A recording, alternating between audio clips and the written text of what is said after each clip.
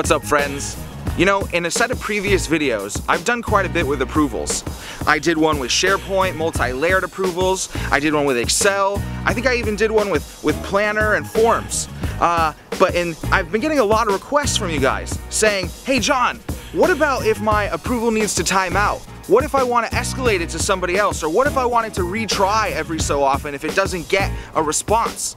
And so I decided, you know what? Let's make a video on that. So today, we're gonna learn about retries, we're gonna learn about timeouts, and we're gonna learn about escalations. Let's go check it out.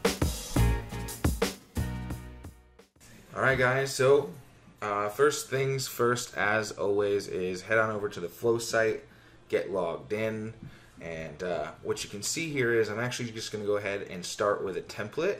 Um, if you go ahead and click on templates at the top, type in approvals, you'll see one that says start approval when a new item is added. Okay, and so basically what I've done here is just started with that template, uh, customized this all a little bit, connected it to a site and a list, uh, went ahead and customized my approval form here and just left alone the condition and my if yes if no paths here okay so uh, yeah let's go ahead and start customizing from here first thing we're going to do is a timeout. Okay, so what you need to know is uh, on your approval step, go ahead and click on your ellipses and then go ahead and click on settings.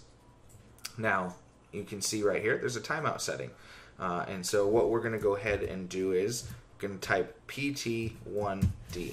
Okay, and so what that means is we're going to go ahead and just time out this approval after one day. All right, and so you might be wondering, like, why would we time out an approval after only one day? Well, what if this is like really mission critical? What if we really need to get this information approved quickly? So we would we might want to time it out after one day, so that way we can escalate it to the next level to our manager or a manager's manager, something like that. Okay, so uh, we're back here at uh, at our little timeout. So we're just going to go ahead and click done. And so now we know that that's going to go ahead and time out after one day. But then what are we going to do? We, we, we want to do a retry or we want to do an escalation. So they kind of take the same path to, to do a retry or an escalation. So basically what we're going to go ahead and do here is we're going to go ahead and add an approval again. And then we'll choose the type as anyone from the list and we'll open this one up so we can see it. And we'll say please review. And then we'll put in title assigned to let's go ahead and just put it to me again. Perfect. Details.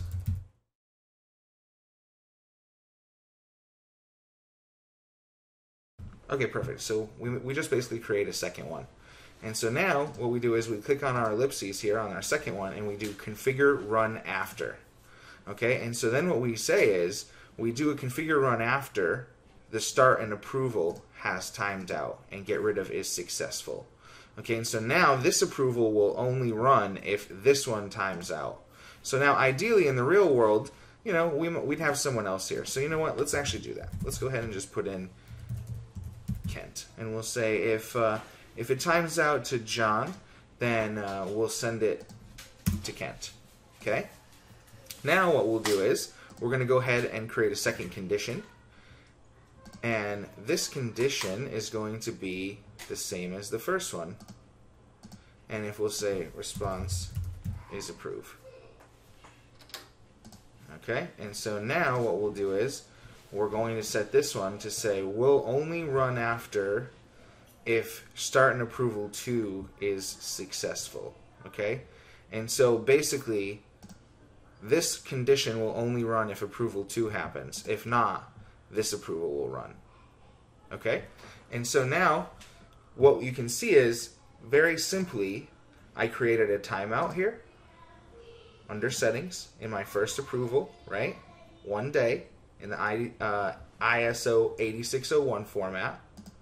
I then went ahead and created my second approval and I configured a run after that says this only runs after if the first approval times out.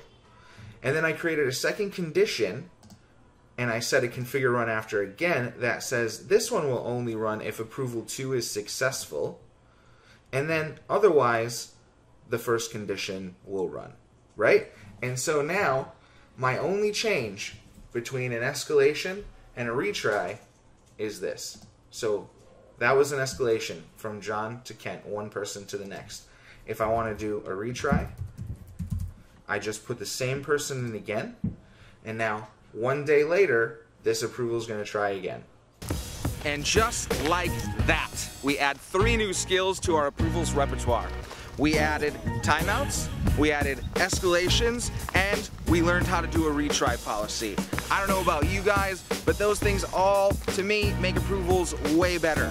If you like this video, let me know in the comments. If you want to see other Flow videos, also let me know. As always, guys, like and subscribe, and I will see you in the next video. Later.